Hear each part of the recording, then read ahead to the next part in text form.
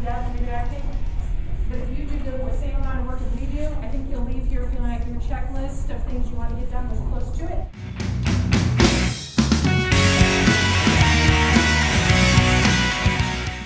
Fiscally, the society is sound.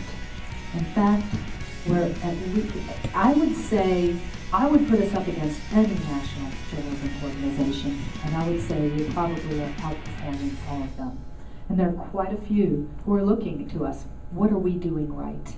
And I think a lot of what we're doing right is we have the best headquarters staff that we could. And I, I, I want to personally give a round of applause to all of us.